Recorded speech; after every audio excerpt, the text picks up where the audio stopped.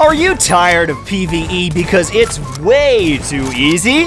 Then you need the Pom Pom Beanie.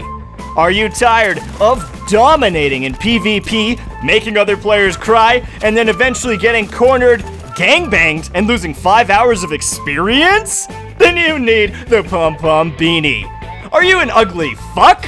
Then you can change it with the Pom Pom Beanie.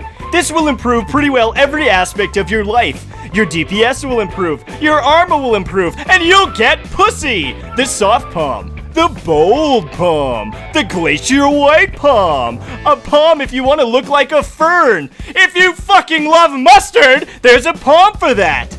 Stop dicking around in the dark zone, grinding challenge mode, and do something productive with your life. After 20 or 30 hours of grinding the streets of New York, handing out gifts to people, and praying to God that they give you a pom pom beanie, you're sure to find at least one. See you later, my friends, and good luck on your search. Ha ha!